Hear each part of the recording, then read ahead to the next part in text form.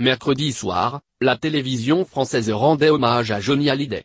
Sur France 2, c'est Michel Drucker qui s'était vu confier les commandes d'une émission spéciale consacrée au rocker. Pendant deux heures, l'animateur et ses invités sont revenus sur la carrière et les moments marquants de la vie de l'idole des jeunes. Digne jusqu'au bout, Michel Drucker avait ému les téléspectateurs en fondant en larmes au moment de rendre l'antenne. Invité jeudi matin de Jean-Jacques Bourdin sur RMC et BFM TV, il est revenu sur cette séquence et a expliqué la raison de son émotion, je voulais terminer en disant, tu aurais pu vivre encore un peu, c'est le titre d'une chanson de Jean Ferrat.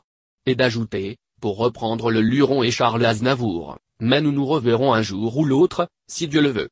Et j'ai eu du mal à dire ces phrases-là, a-t-il expliqué, il y a des moments dans la vie où on sent que l'émotion va être très forte, sauf que là c'était devant des millions de gens.